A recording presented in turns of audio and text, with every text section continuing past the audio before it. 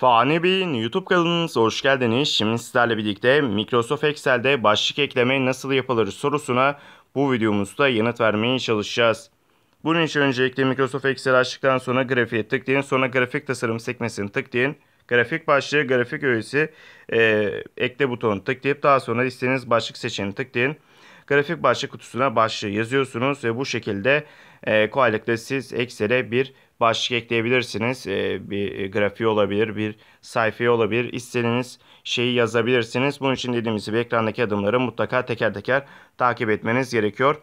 E, bu takibin neticesinde başlıkları istediğiniz gibi de yazabilirsiniz. Daha sonrasından üstüne tıklayarak da değiştirebilirsiniz.